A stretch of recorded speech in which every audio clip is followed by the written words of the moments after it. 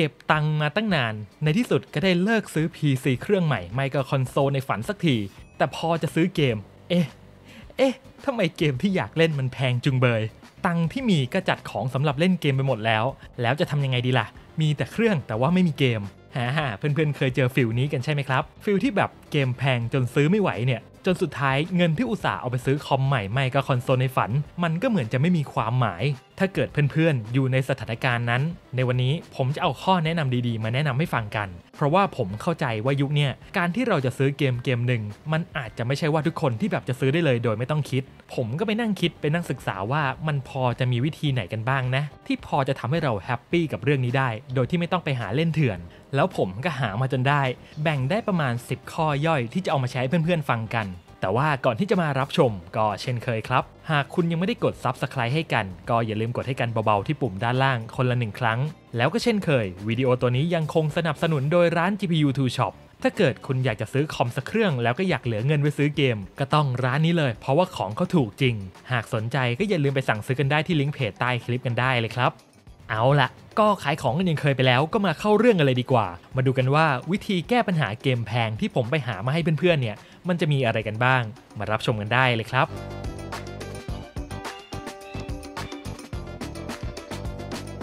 ข้อที่ 1 รอให้เกมมันลดราคาก่อนสำหรับข้อนี้ก็น่าจะถือว่าเป็นอีกเรื่องหนึ่งเลยที่ basic ที่สุดที่ใครๆเขาก็ทำ เพราะตามเทศกาลต่างๆ ที่สำคัญ ไม่ว่าจะเป็นพวกคริสต์มาส Black Friday หรือว่ากิจกรรมต่างๆ ตามฤดู ยังไงแพลตฟอร์มชั้นนำเขาก็ต้องมีส่วนลด แต่ว่าจะลดถึงเมื่อไหร่วันไหนหรือกี่วัน รวมไปถึงว่ามันจะลดเยอะแค่ไหน อันนี้ผมก็ตอบไม่ได้ เพราะว่าผมก็ไม่รู้ แต่ผมก็ค่อนข้าง confirm ว่าตามพวกเทศกาลพวกเนี้ยยังไงมันก็ลดแน่นอน แล้วคิดดูว่าในปีแต่ละปีเนี่ยมันมีกี่เทศกาลเอาเท่าที่ผมรู้เลยนะ ไม่น่าจะต่ำกว่า 3 ครั้งแน่ๆต่อปีแถมบางครั้งไม่ต้องรอพวกเทศกาลก็ได้ พวกอีเวนต์ต่างๆ เช่นพวกวันครบรอบไม่ก็เวลาที่เกมภาคต่อกำลังจะมีภาคใหม่ ยังไงมันก็ลดครับ แต่ถ้าเกิดใครที่ไม่แน่ใจว่าเกมไหนมันจะลดตอนไหน อันเนี้ยในโลกโซเชียลก็จะมีหลายสื่อที่คอยแจ้งข่าวสารพวกนี้ เอาที่แบบดีและถูกต้องที่สุดเลย ก็อย่างเช่นเพจเกมถูกบอกด้วยเป็นต้น เนี่ยคือพยายามติดตามเพจพวกนี้เอาไว้ ถ้าเกิดมันมีกิจกรรมลดราคาเราจะได้ไม่ตกเรือ ส่วนในเรื่องที่ว่าเกมมันจะลดเยอะแค่ไหน อันเนี้ยผมว่าเรื่องระยะเวลามันก็สำคัญ เพราะการที่เกมมันยิ่งออกมานาน มูลค่าของมันก็จะเหมือนโดนลดทอนกันไปมากขึ้น ดังนั้นใครรอได้ก็แนะนำว่าให้รอครับ แล้วคุณก็จะได้เกมถูกไปเล่นแบบสมใจหากคุณอดทนได้มากพอแต่ว่าก็แน่นอนว่ามันก็มีบางค่ายที่เขาตีราคามูลค่าของตัวเองไว้ค่อนข้างสูง ยกตัวอย่างเช่น FromSoftware เนี่ยตัวดีเลย กว่า Elden Ring จะลดราคาครั้งแรก พี่แกก็ล่อไปแล้วเป็นปี แต่มันก็ว่าเขาไม่ได้เพราะเกมเขาดีจริง ทั้งรางวัลทั้งเสียงตอบรับ คือแบบไม่ต้องง้อยอดจากการลดราคา ผมว่าเขาก็อยู่ได้ แต่ถึงยังไงสักวันผมว่ายังไงเขาก็ต้องลด เพราะว่าในแง่การตลาดการที่เกมมันเก่ามากๆเนี่ยเขาก็คงรู้กันอยู่แล้วว่าการที่เกมเก่าๆมันราคาแพง มันก็คงไม่มีคนซื้อ งั้นแทนที่เขาจะยอมยอดไม่กระดิกเลย งั้นยอมลดกำไรลงมา แล้วก็ได้ฐานผู้เล่นเพิ่มขึ้นดีไหมที่มันอาจจะหมายถึงในอนาคตคนพวกนี้อาจจะกลายมาเป็นคนซื้อเกม Day 1ก็ได้ แบบเนี้ยยังไงก็น่าจะเวิร์กกว่าเพราะงั้นเรื่องพวกนี้ไม่ต้องไปอินแทนผู้พัฒนาครับ ผมเห็นหลาย ๆ คนมีความคิดประมาณว่าการซื้อเกมลดราคา มันเป็นเหมือนการไม่สนับสนุนผู้พัฒนาที่โดนนายทุนกดดัน ในเรื่องนี้คือไม่จริงเลย เพราะยังไงรายได้เขาก็ได้เหมือนเดิม เพราะว่าการที่ได้น้อยลงยังไงมันก็ดีกว่าการไม่ได้เลยใช่ไหมเพราะงั้นเรื่องนี้ไม่ต้องไปคิดแบบนั้นครับ มาสงสารตัวเองในเรื่องค่าเงินไทยที่ไม่สอดคล้องกับราคาเกมน่าจะดีกว่า แต่ว่าคุณก็ต้องยอมรับนะครับ ว่าหากคุณอยากจะได้เกมลดราคา อันนั้นคุณก็ต้องอดทนรอให้ไหว คือคุณอดทนได้ไหมอะกับการที่ต้องมาคอยหลบสปอยแล้วก็นั่งดูคนอื่นโพสต์ภาพเจ๋งๆเนี่ยถ้าเกิดคุณทำได้ก็เอาเลย แต่ว่าผมไม่ใช่คนแบบนั้น เพราะอย่างที่ผมบอกไปในหลาย ๆ คลิปนั่นแหละครับ ว่าถ้าเกิดผมไม่ได้เล่นในช่วงที่มันเป็นกระแส ผมก็ไม่อยากเล่นแล้วเนี่ย ถ้าเกิดคุณมีนิสัยแบบผม อันนั้นคุณก็ต้องลงทุนควักเงินซื้อเกมในแบบ day one แต่ว่าผมก็ไม่ได้ซื้อเกม day one อย่างเดียวเสมอไปนะครับ พวกเกมเก่าๆ ที่หลายๆคนบอกว่าเจ๋ง และอยากดูผมทำรีวิว อันนี้ก็มีหลายเกมเลยที่ผมรอให้มันลดก่อนผมค่อยซื้อ ซึ่งมันก็เยอะเลย ไม่ว่าจะเป็น Prototype Sleeping Dogs Stalker หรือก็คือไอเกมที่ผมเอามาทำรีวิวเกมเก่าอะเกมพวกนี้คือผมซื้อในช่วงลดราคาทั้งนั้น เพราะผมคิดว่าเกมมันเก่าอะยังไงเดี๋ยวมันก็ลด เอาเป็นว่าพวกเกมสัก 6 เดือนหรือว่า 1 ปีขึ้นไปเนี่ยผมแนะนำว่ารอให้มันลดดีกว่า บางครั้งอาจจะผิดหวังไปหน่อยที่มันไม่ลดหรือว่าลดน้อยไปหน่อย แต่เชื่อผมเถอะผิดหวังที่มันไม่ลด มันไม่เจ็บเท่าหลังหักเพราะว่าซื้อตอนราคาเต็มแล้วมันดันมาลดหรอกจริงไหมแล้วก็จริง ๆ การซื้อเกมลดราคาเนี่ยมันไม่จำเป็นต้องรอเสมอไป หากคุณรีบคุณจะลองไปหาพวกร้านค้าหรือว่าแพลตฟอร์มที่เขารับคีย์มาขายถูกๆก็ได้ ถ้าเกิดเป็นร้านที่มันน่าเชื่อถือก็เอาเลย ก็ขอให้ร้านค้าเหล่านี้มีเกมที่คุณอยากจะเล่นเยอะๆแล้วกันนะครับ ข้อที่ 2 รอเกมแจกฟรีสำหรับข้อเนี้ยผมเชื่อเลยว่าใครหลาย ๆ คนจะต้องมีเกมดองเพิ่มขึ้นเพราะสิ่งนี้เลย เพราะทุกวันนี้หลาย ๆ แพลตฟอร์มที่เขาเอาเกมมาแจกฟรีมันก็มีบ่อยมาก ไม่ว่าจะเป็น Epic Game ที่จู่ ๆ ก็เอาเกมแพงมาแจกจนถึงขั้นที่ว่าคนเข้าไปแย่งกันกดจนเซิร์ฟพัง หรือบางทีอย่าง Steam เขาก็นึกครึ้มอะไรก็ไม่รู้ที่จู่ๆก็เอาเกมฟรีมาแจกให้เล่นกันเฉยเลย ไม่ก็บางทีคุณลองไปติดตามพวกกรุ๊ปเกมใหญ่ๆเอาไว้ก็ดีนะ เพราะว่าในกลุ่มพวกนั้นมันก็มีบางคนที่เขามีเกมแล้ว แต่ว่าเขาดันได้โค้ดเกมนั้นมาฟรี คือบางทีเขาคงไม่รู้ว่าจะเอาไปทำอะไรหรือเอาไปให้ใครแหละมั้งเขาก็เลยเอามาโพสต์แจกฟรีซะเลย แล้วคือเหตุการณ์แบบเนี้ยมันไม่ได้มีแค่ครั้งหรือว่า 2 ครั้ง บางทีมันก็บ่อยแบบอาทิตย์ละ 2-3 ครั้งเลยก็มี แต่ก็นั่นแหละความไวมันก็เป็นของปีศาจนะ บางทีเจอสับขาหลอกให้โค้ดไม่ครบก็มี ประมาณว่าตัวสุดท้ายไปสุ่มกันเอาเอง แบบนี้ก็มีเยอะ แต่ก็นั่นแหละครับ เรื่องการรับเกมฟรีเนี่ยมันเป็นอะไรที่เราจะไม่มีทางรู้ได้เลยในล่วงหน้าคือผมไม่แนะนำให้คาดหวังอะ่ะ แต่ถ้าเกิดมีโอกาสก็อย่าพลาดครับ ถ้ารู้ว่าอันไหนให้ฟรีหรือว่าตรงไหนแจกก็ไปรับซะ ส่วนจะได้มากได้น้อยหรือจะเป็นเกมที่ถูกใจไหม อันนี้ก็อีกเรื่อง ก็ถือว่าเป็นข้อที่ผมแนะนำกันละกัน แต่ก็ไม่อยากให้คาดหวังเยอะ ข้อที่ 3 เปลี่ยนจากการหาเกมใหม่ มาลองเล่นเกมที่ดองดูดีไหมสำหรับข้อนี้ก็เป็นอีกข้อแนะนำเลยสำหรับคนที่อยากจะทำลายการดองเกม เพราะผมเชื่อว่าคำว่าไม่มีเกมจะเล่นของหลาย ๆ คนเนี่ยมันไม่ได้หมายถึงว่าคุณไม่มีเลยจริง ๆ แต่ว่าคุณแค่อยากจะได้เกมใหม่เฉย ๆ ไม่ต้องใครหรอกผมเนี่ยแหละผมก็เป็น เพราะถ้าเกิดคุณทำตามไอ้สองข้อที่ผมว่าไปอะยังไงเกมดองคุณก็มีเยอะแน่นอน มันอาจจะเป็นเพราะว่าคุณไม่ได้จ่ายเงินซื้อมาแพง หรือบางทีได้มาฟรี เกมที่คุณได้มา มันก็เลยไม่มีความหมาย คือบางทีมันอาจจะโดนตัดสินไปแล้วด้วยซ้ำว่ามันไม่น่าสนใจ ทั้งๆทที่เกมพวกเนี้ยมันไม่เคยถูกเปิดเล่นเลยด้วยซ้ำแต่ก็นั่นแหละครับ ถ้าเกิดคุณกำลังคิดว่า โห เกมใหม่มันแพงจังเลยอะ่ะ งั้นลองมาเล่นเกมดองให้หมดไปก่อนดีไหม เพราะบางครั้งคุณอาจจะได้เจอเกมที่ไม่เคยคิดว่ามันสนุกเลยก็เป็นได้นะเพราะบางทีเกมถูกหรือว่าเกมฟรี มันอาจจะไม่ได้หมายความว่ามันแย่เสมอไป กลับกัน ไอเกมแพงๆที่มันออกใหม่ๆอะมันก็ไม่มีอะไรมาการันตีใช่ไหมว่ามันจะดีทุกเกม อันเนี้ยใครที่เป็นสายดองเกมต้องลองดูครับ ถือว่าเป็นการประหยัดไปในตัว แถมอาจจะได้เจอประสบการณ์ใหม่ที่ชอบมากก็เป็นได้ข้อที่ 4 เกมฟรีก็มีเยอะนะสำหรับข้อนี้ก็คงจะปฏิเสธไม่ได้ว่าสำหรับเกมฟรีในยุคนี้มันเยอะขึ้น เพราะว่าในเรื่องการตลาด ผมว่ามันไม่เหมือนแต่ก่อนแล้ว เห็นได้ชัดจากหลาย ๆ ค่ายเลย ว่าการที่เขาเปิดให้เล่นฟรี แล้วก็เก็บรายได้จากพวกการสุ่มกาชา การซื้อสกินอะไรพวกเนี้ยรายได้มันสูงกว่าการซื้อขาด ซึ่งเกมฟรีพวกนี้เกมเจ๋ง ๆ แล้วก็สนุกมันก็มีเยอะไปหมดเลย ถ้าเกิดเป็นเกมฟรีที่ผมเล่นก็จะเป็นพวก Fortnite Apex Dota ROV และน r o k Genshin อะไรพวกเนี้ยมันก็คือไอเกมหมาที่ทุกคนพูดกันนั่นแหละแต่ก็เลิกเล่นกันไม่ได้สักที คือเกมพวกเนี้ยถ้าเกิดไม่ได้อคติอะไรกับมัน ผมว่ามันคือเกมดีนะอาจจะไม่ถึงขั้นเป็นเกมเทพ แต่มันก็เป็นเกมที่ทำให้ใครหลายๆคนติดหนึบจนไม่ได้ลุกไปไหนกันมาแล้วทั้งนั้น และความจริงเกมพวกนี้มันมีเยอะมาก ใครสนใจก็ลองไปหากันดู ผมว่าจริง ๆ มันมีอีกเยอะเลย เพียงแต่ว่าส่วนมากแล้วเกมฟรีเนี่ยส่วนใหญ่แล้วมันจะเป็นเกมออนไลน์ซะส่วนใหญ่ ดังนั้นถ้าเกิดจะเล่น อย่างน้อยๆยังไงคุณก็ต้องมีอินเทอร์เน็ตไม่งั้นก็คือเล่นไม่ได้ แล้วก็ขอแนะนำอย่างหนึ่ง คือพยายามหาเกมที่มันเป็น free to play เอาไว้ก่อน พวกเกมที่ต้องเติมเพื่อให้มันเทพ อันนั้นบอกเลยว่ารู้ตัวอีกที คุณอาจจะจ่ายเยอะกว่าเกมที่เป็น AAA แล้วด้วยซ้ำอันนี้ก็แล้วแต่เลยว่าคุณจะพอใจกับคำว่าฟรีแค่ไหน คือทุกเกมอะมันเล่นฟรีได้ แต่เวลาเห็นคนอื่นเขาเทพ เราก็อยากจะเทพตาม อันเนี้ยผมเข้าใจ ดังนั้นหากคุณอยากจะเลือกเล่นเกมฟรี ใจก็ต้องแข็งนิดนึง อันนี้เตือนแล้วนะ ข้อที่ 5 ลองเล่นเกมประเภท Subscription ดู สำหรับข้อนี้ก็จะเป็นอีกข้อหนึ่งเลยที่กำลังฮิตแล้วผมก็แนะนำโดยเฉพาะกับคนที่เพิ่งซื้อเครื่องเกมมาใหม่ แล้วไม่มีเงินหรือว่าไม่รู้ว่าจะเล่นเกมอะไรเนี่ยสำหรับข้อเนี่ยคือน่าจะตอบโจทย์ที่สุด ก็สำหรับใครที่มีเครื่อง PlayStation ก็จะเป็น PlayStation Plus ซึ่งผมก็แนะนำที่ระดับ Extra ขึ้นไป ส่วน Deluxe เนี่ยถ้าเกิดคุณไม่ได้อยากเล่นเกมคลาสสิกหรือว่า t i l อันนี้ก็ไม่ต้องไปสน ส่วนที่ว่าเกมมันมีเยอะขนาดไหน โอ้ อันนี้บอกเลยว่าเกมเทพๆเพียบแถมโคตรเยอะ ทั้งเดือนผมว่ายังไงคุณก็เล่นไม่มีวันหมดหรอก แถมมีการแจกเกมฟรีโน่นนี่นั่นทุกเดือนอีก ส่วนในทาง Xbox หรือว่า PC อันนี้ชาวเราก็จะมีสิ่งที่เรียกว่า Xbox Game Pass มันก็คล้ายๆกับระบบ PlayStation Plus นั่นแหละครับ มันคือระบบ Subscription รายเดือนถึงรายปี ที่คุณจะสามารถเล่นเกมที่เข้าร่วมรายการ แต่ถ้าเกิดจะถามว่าระหว่าง PlayStation Plus กับ Xbox Game Pass อันไหนมันคุ้มกว่ากัน ผมก็คงบอกได้แค่ว่าก็แล้วแต่จะมองเลยว่าเกมที่อยากเล่นมันอยู่ฝั่งไหน ข้อดีของ PlayStation Plus ก็คือเกม Triple A ที่นิยมมันมีเยอะ ส่วน Xbox เนี่ยราคามันถูก แล้วมันก็อาจจะมีเกม Day One จริงแต่ว่าเกมพวกนั้นส่วนมากแล้ว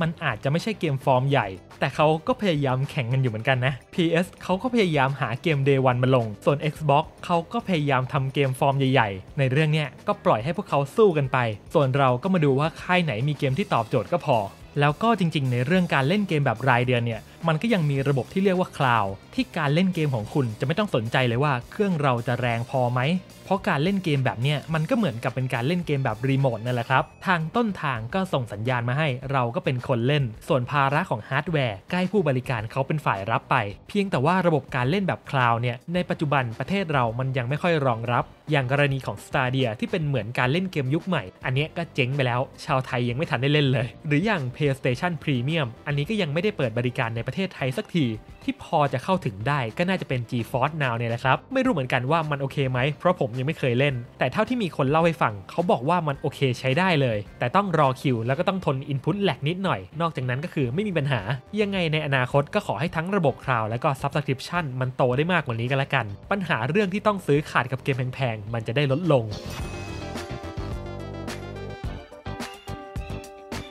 ข้อที่ 6 ถ้าเกิดมันแพงงั้นก็ต้องเล่นให้คุ้มผมมักจะพูดเสมอว่าคำว่าคุ้มมันไม่ได้แปลว่าเราได้มาถูก เพราะว่าถ้าเกิดมันแพง แต่ว่าถ้าเกิดเรามีความสุขกับมันอย่างเต็มที่ ยังไงมันก็ไม่มีหรอกคำว่าแพง อย่างผมเนี่ย ผมเคยเล่าไปในเรื่องการซื้อ Dark Souls 3 ในคลิปก่อนๆมันก็ฟังดูขาดทุนมากเลยใช่ไหมเกมเก่าเป็นปี แต่ว่าซื้อมาในราคาเต็ม ไม่ขาดทุนก็บ้าแล้ว แต่สิ่งที่มันทำให้ผมไม่เคยรู้สึกเลยว่าผมเสียดายเงิน มันก็คือผมว่ามันคุ้ม ผมเล่นไปกว่า 300 ชั่วโมง จบไปไม่รู้กี่รอบแล้ว ไม่คุ้มก็ไม่รู้จะเรียกว่ายังไงแล้วอะดังนั้น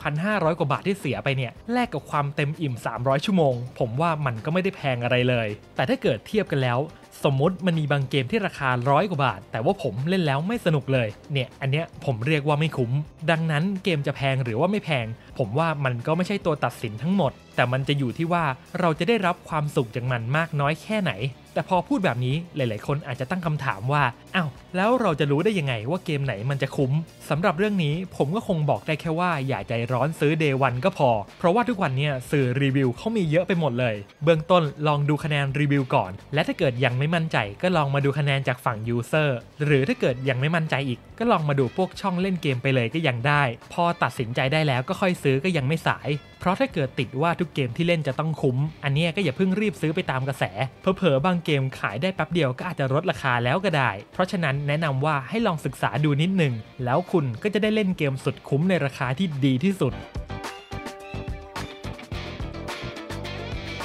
ข้อที่ 7 ถ้าเกมมันแพงลองหาเกมมือ 2สำหรับข้อเนี่ยเอาจริง ๆ ก็เป็นวิถีสายเทาอยู่เหมือนกันนะเพราะว่าเอาจริง ๆ แล้วการซื้อขายเกมมือ 2 มันก็ไม่ได้ถูกต้องในเรื่องกฎหมายไปซะทีเดียว แต่ถ้าเกิดกฎหมายเขาไม่ได้บังคับจริงจังอันนี้ใครจะลองก็แล้วแต่ แต่ผมก็บอกได้แค่ว่ายังไงมันก็เป็นสีเทาอะมันไม่ได้ขาวร้อยเปอร์เซ็นต์แต่ยังไงซะก็ต้องยอมรับว่าเกมมือ 2 ราคามันค่อนข้างถูก แล้วนอกจากที่จะได้เกมในราคาถูกแล้ว หากเราเบื่อหรือว่าไม่ชอบ เราก็สามารถขายมันต่อ เพื่อที่จะหาเงินไปซื้อเกมใหม่ๆ ซึ่งคำว่าเกมมือ2เนี่ยมันก็อาจจะไม่ได้หมายถึงพวกแผ่นเกมเสมอไป ผมเห็นเยอะเลยบางทีมีการขายไอดงไอดีกันเพียบ ถ้าเกิดคุณคิดว่าคุณรับได้กับราคาที่เขาเสนอก็ลองซื้อดู แต่เตือนไว้ก่อนนะครับ ว่าในเรื่องนี้มันมีความเสี่ยงค่อนข้างสูง เพราะคุณจะไม่มีทางรู้ได้เลยว่า คนที่เขาซื้อขายด้วยเนี่ยเขาจะขาวสะอาดแค่ไหน เขาอาจจะโกงคุณ ไม่ก็ของที่เขาขายเนี่ยเขาอาจจะขโมยมา มันก็เลยอาจจะทำให้คุณกลายเป็นคนรับซื้อของโจรไปเลยก็ได้ ถ้าเกิดเป็นแบบนั้นก็คือซวยหน่อย เพราะฉะนั้นถ้าเกิดจะมาสายเนี่ยยังไงก็ต้องตรวจสอบให้ดีๆก่อน เพราะคำว่าสายเทา มันก็ไม่มีทางปลอดภัยร้อยเปอร์เซ็นต์อยู่แล้ว ข้อที่ 8 แชร์ ID กับเพื่อนสำหรับข้อนี้ก็เป็นอีกข้อหนึ่งเลยที่เป็นสายเทาข้อหนึ่ง ข้อดีอย่างเดียวเลยก็คือ เราจะได้ซื้อเกมในราคาที่ไม่แพง เพราะว่ามีคนหารแค่นั้นเลย ส่วนข้อเสียอันนี้อาจจะเยอะหน่อย อย่างแรกคือคุณอาจจะต้องหาคนที่หารยากหน่อย เพราะบางทีเขาอาจจะไม่ได้อยากเล่นเกมที่คุณอยากจะเล่น อย่างที่ 2คือคุณต้องตกลงเวลาการเล่นให้ดีๆนะ เพราะอย่างสตรีมเหมือนเขาจะรู้เหลี่ยมผู้เล่นมันก็เลยไม่เหมือนแต่ก่อน เขาคงรู้แหละว่ามีคนทำเขาก็เลยใช้วิธีหากล็อกอินซ้อน เกมอาจจะเด้งไม่ก็ล็อกเอาท์ไปซะเลย อย่างที่ 3 คือมันอาจจะเกิดปัญหาหากวงหารไว้ใจไม่ได้เพราะว่า ID ID หนึ่งเนี่ย ก่อนที่จะแชร์ในวงหาร มันก็ต้องมีคนใดคนหนึ่งสมัคร แล้วเราจะรู้ได้ไงล่ะ ว่าคนคนนั้นเขาจะไม่เหลี่ยมใส่เรา บางทีจ่ายเงินไปแล้ว เขาอาจจะเปลี่ยน password หนีเราไปเลยก็ได้ เตือนอีกครั้งกันแล้วกันนะครับ ว่าระวังให้ดีในเรื่องนี้ แล้วก็อย่างที่ 4 นั่นคือ save ที่คุณเล่นน่ะมันอาจจะรวนได้เพราะว่าเล่นกันหลายคน คือถ้าเกิดเกมไหนเป็นระบบ save แบบออฟไลน์เนี่ยมันจะไม่มีปัญหา แต่ถ้าเกิดมันเป็นเกมประเภท cloud save อันนี้จะเริ่มยุ่งยากละ เพราะบางทีเพื่อนของคุณก็อาจจะมาทำให้ save ที่คุณเล่นมาอย่างยากลำบากต้องพังอย่างไม่ตั้งใจ เพราะงั้นถ้าเกิดเป็นไปได้อะวิธีนี้ผมก็ไม่อยากแนะนำเลย แต่มันก็ดันเป็นอีกข้อหนึ่งที่ใครหลาย ๆ คนเขาทำกัน ซึ่งจริง ๆ แล้วผมไม่แนะนำเลยนะข้อเนี้ยเพราะว่าเรื่องเกมหรือว่า save มันก็ควรจะเป็นเรื่องของส่วนตัว แต่ถ้าเกิดต้องทำจริง ๆ ก็ต้องระวังหน่อยอย่างที่ผมว่าไป ข้อที่ 9 ร่วมสนุกกับอีเวนต์ต่างๆ สำหรับข้อนี้ถ้าเกิดใครที่เล่นโซเชียลประจำ คุณอาจจะได้เห็น ว่ามันจะมีหลาย ๆ เกมที่เขาจะส่งโค้ดไปแจกตามแบรนด์ต่าง ๆ เช่นถ้าเกิดว่าคุณซื้อการ์ดจอ หรือว่า CPU รุ่นที่กำหนด คุณอาจจะได้เล่นเกมออกใหม่ช่วงนั้นไปเลยฟรี ๆ ก็ถ้าเกิดใครที่กำลังจะซื้ออะไรสักอย่างในช่วงนี้ก่อนจะซื้อก็ลองเช็คดูก่อน ว่าของที่คุณกำลังจะซื้อเนี่ยมันอยู่ในรายการพวกนี้ไหมถ้าเกิดจังหวะมันเป๊ะพอดีเลย คุณก็อาจจะได้เกมที่เป็นเอไปเล่นเลยเกมหนึ่งหรือไม่บางทีพวกเพจหรือว่าตามช่องต่าง ๆ เขาอาจจะมีกิจกรรมให้เล่นเพื่อลุ้นรับเกมก็ได้ เอาที่เห็นบ่อยๆเลยก็คือ อาจจะเป็นการกดไลค์กดแชร์ไม่ก็คอมเมนต์หรือไม่ก็แท็กเพื่อน จากนั้นก็มาดูว่าเราจะมีบุญได้เกมฟรีกันไหมทำไปเล่นไป ผมได้ Resident Evil Village จากกิจกรรมแบบนี้เนี่ยแหละ ถึงแม้ว่ามันอาจจะพึ่งมากไม่ได้ เพราะมันต้องอาศัยดวง แต่ถ้าเกิดเจอก็เล่นไปเถอะ มันก็ไม่ได้เสียอะไรนี่คุณอาจจะดวงดีก็ได้ ใครจะรู้ข้อที่ 10 ลองหาสปอนเซอร์กันดู สำหรับข้อนี้ก็อาจจะพิเศษนิดหนึ่ง เพราะต้องบอกก่อนว่ามันไม่ใช่ว่าทุกคนที่จะทำข้อนี้ได้ เพราะการจะขอสปอนเซอร์ มันก็เป็นเหมือนธุรกิจอย่างหนึ่งถ้าคุณจะไปขออะไรสักอย่างจากเขา คุณก็ต้องให้อะไรกับเขาได้สักอย่าง ดังนั้นข้อเนี่ยถ้าเกิดอยากจะทำคุณก็ต้องมี power ในตัวเองเลยระดับหนึ่ง แต่ว่าถ้าเกิดคุณมี power แบบนั้นได้ ผมว่าร้านค้าเหล่านั้นเขาก็พร้อมที่จะสนับสนุนคุณ แต่ว่าในบางครั้งคนที่เขาเข้ามาสปอนเซอร์เราเนี่ยเขาอาจจะไม่ได้อยากจะได้อะไรจากเราเลยก็เป็นได้ อย่างกรณีผมเนี่ยถือว่าเป็นอีกตัวอย่างหนึ่งที่มักจะมีเพื่อนๆ พี่ๆ น้องๆ ส่งเกมมาให้ผมเล่นตลอดเวลา ถ้าจะให้ผมไล่นะว่ามีเกมอะไรบ้าง โอ้โห มันเยอะมากอะทั้ง Resident Evil 4 Dead Space Dying Light 2 Far Cry 6 Elden Ring คือเพียบอะแล้วมันก็เป็นเกมแพงๆ เบอร์ใหญ่ๆ ทั้งนั้น แต่ถึงแม้ว่าพวกเขาจะไม่ได้ต้องการอะไรจากผมเลยก็ตาม แต่ยังไงผมก็ต้องทำให้น้ำใจที่พวกเขาเหล่านั้นมอบให้ไม่สูญเปล่า และสิ่งที่ผมทำได้และคิดว่าทำได้ดี ก็คือเอาเกมเหล่านั้นแหละครับ มาทำเป็นคลิปให้ทุกคนได้ดูกัน พวกเขาเหล่านั้นออกทุน ส่วนผมลงแรง แล้วเราก็แฮปปี้กันทั้งสองฝ่าย เรื่องมันก็จะเป็นประมาณนี้ที่มันจะไม่ใช่ธุรกิจจริงจัง แต่ว่ามันก็จะย้อนไปถึงประโยคที่ผมพูดเมื่อกี้นั่นแหละครับ ว่ายังไงการที่จะทำอะไรแบบนี้ได้ ผมก็ต้องมี power ในตัวเองอยู่พอสมควรเหมือนกัน ดังนั้นถ้าเกิดมีโออกาสที่คุณจะสร้างคุณค่าในตัวเองได้ก็ลุยเลย ตอนแรกผมก็ไม่คิดหรอกว่าจะมีคนมาสนับสนุนผมเยอะขนาดนี้ ยังไงก็ขอขอบคุณทุกคนที่สนับสนุนส่งเกมมาให้ผมได้ทำคอนเทนต์ รวมไปถึงคนดูทุกคนที่คอยดูและก็คอยวิจารณ์ จนช่องมันเริ่มโตและก็เริ่มเป็นรูปเป็นร่าง ก็ถ้าเกิดขาดอะไรไปสักอย่าง มันก็คงจะโตแบบนี้ไม่ได้ใช่ไหม ถ้าผมไม่ทำก็คงจะไม่มีคนดู และถ้าไม่มีคนดูก็คงจะไม่มีคนมาสนับสนุน และถ้าเกิดไม่มีคนมาสนับสนุน ผมก็อาจจะไม่ได้ทำต่อ เพราะฉะนั้นผมก็คงพูดได้แค่ว่าขอบคุณมากครับ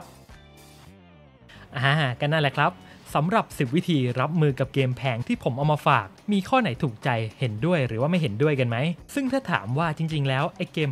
50-60 ดอลลาร์เนี่ยมันเรียกว่าแพงได้ไหมสำหรับต่างประเทศอะมันไม่แพงหรอกทำงาน 1-2 วันเขาก็ได้กันแล้ว แต่กับประเทศเราน่ะเหรอ โอ้โห ถ้าจะเป็นค่าแรงขั้นต่ำคือต้องทำเป็นอาทิตย์ แล้วมันจะมีสักกี่คนล่ะ ที่เขาจะทำงานทั้งอาทิตย์เพื่อเกมเกมเดียว ดังนั้นผมคิดว่าผมเข้าใจ ถ้าซื้อไม่ได้จริง ๆ ก็ไม่เป็นไร แต่ถ้าเกิดอยากจะเล่นก็ลองทำตามข้อต่างๆ ที่ผมแนะนำยังไงก็อย่าไปเล่นเลยพวกเกมเถื่อนเนี่ย เพราะคำว่าจนหรือว่าไม่มีเงิน ผมว่ามันไม่ใช่เหตุผลที่ดีพอสำหรับการที่เราจะขโมยของคนอื่นมาใช้แบบฟรีๆยิ่งกับคนที่แต่งคอมเป็นแสนได้ แต่ยังเล่นเกมเถื่อนอยู่เนี่ยอันนี้คือยิ่งแล้วใหญ่เลย ยังไงก็มาช่วยทำให้อุตสาหกรรมเกมเนี่ยมันได้ไปต่อกันดีกว่า และเมื่อถึงตอนนั้นทุกคนก็จะมีความสุข เพราะมันก็จะมีแต่เกมดีๆ ออกมาให้เราเล่น และสำหรับเพื่อนๆล่ะครับมีวิธีไหนที่เพื่อนๆใช้รับมือกับเกมที่มันแพงๆอย่าลืมมาคอมเมนต์แลกเปลี่ยนความเห็นกันเยอะๆนะครับ โอเคสำหรับวิดีโอตัวนี้ผมก็ต้องขอจบเอาไว้ตรงนี้กันละกัน เป็นยังไงกันบ้างครับสำหรับวิธีการรับมือเกมแพงที่ผมเอามาฝาก ถ้าเกิดมันเปลี่ยนแปลงเศรษฐกิจไม่ได้ มันก็ต้องมาฝึกรับมือด้วยตัวเองแบบนี้เนี่ยแหละ ซึ่งคุณก็ไม่ต้องเชื่อผมไม่หมดเลยก็ได้ เพราะบางข้อมันก็เป็นแค่การเล่าสู่กันฟังไม่ใช่คำแนะนำโดยเฉพาะกับข้อที่เป็นสายเทาเนี่ยแนะนำว่าให้ใช้วิจารณญาณให้ดีเลย ยังไงผมก็ขออวยพรให้ทุกคนมีเงินใช้กันเยอะๆกันละกันนะครับ จะได้ไม่เดือดร้อนเรื่องเกมแพงกัน ส่วนกับผมนี่ก็คงไถไปเรื่อยๆนั่นแหละ ก็ถ้าอยากให้ผมมีทุนทำช่องต่อไปยาวๆ ก็สนับสนุนกันได้ ทั้งการดูให้จบไม่ก็สมัครสมาชิก หรือไม่ก็มากดซุปเปอร์แตงกันเยอะๆไงล่ะ ขายเก่งไหม มีทิ้งท้ายขายของกันด้วยแบบเนียนๆ แต่ว่ากับวิดีโอตัวนี้ผมคิดว่ามันน่าจะสมควรแก่เวลากันแล้ว เช่นเคยครับ ใครที่ชอบวิดีโอตัวนี้ คุณก็สามารถสนับสนุนผมได้ง่ายๆ ด้วยการกดไลค์และก็กดแชร์ และที่สำคัญเลยคืออย่าลืมกด Subscribe และกดกระดิ่งแจ้งเตือนกันเอาไว้ จะได้ไม่พลาดวิดีโอใหม่ๆ ที่ผมจะลงในทุกสัปดาห์อย่างแน่นอนสำหรับวันนี้ผมต้องขอตัวลาไปก่อน เอาไว้เจอกันใหม่ในวิดีโอตัวหน้า ขอให้ทุกคนมีความสุขแล้วก็สนุกกับการเล่นเกม สวัสดีครับ